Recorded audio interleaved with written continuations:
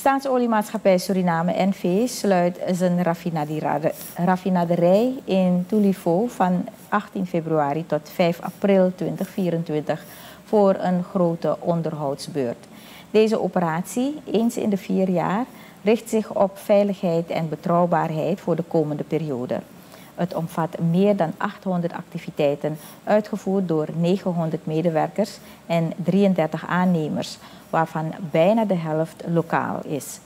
Tijdens de stillegging zal er geen productie zijn, maar voldoende brandstofvoorraden zijn beschikbaar met mogelijkheid tot import indien nodig.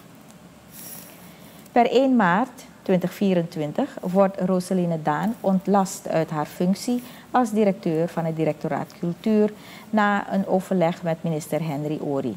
Ze zal echter blijven bijdragen als adviseurs eerste klasse, vooral aan projecten zoals de oprichting van een nationaal museum.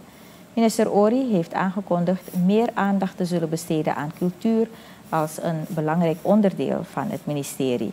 Het ministerie erkent de bijdrage van Daan aan de cultuurbevordering en zal zorgvuldig haar opvolging overwegen.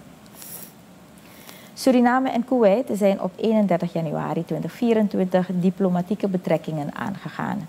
De permanente vertegenwoordigers van beide landen bij de Verenigde Naties hebben een gezamenlijk communiqué ondertekend om dit te bevestigen. Dit initiatief past binnen het buitenlands beleid van Suriname om strategische partnerschappen aan te gaan. Deze relatie biedt kansen voor samenwerking op gebieden als investeringen, toerisme, energie, water en voedselzekerheid. Suriname en Kuwait willen hun relatie verder uitbouwen en plannen binnenkort een ontmoeting tussen hun ministers van Buitenlandse Zaken.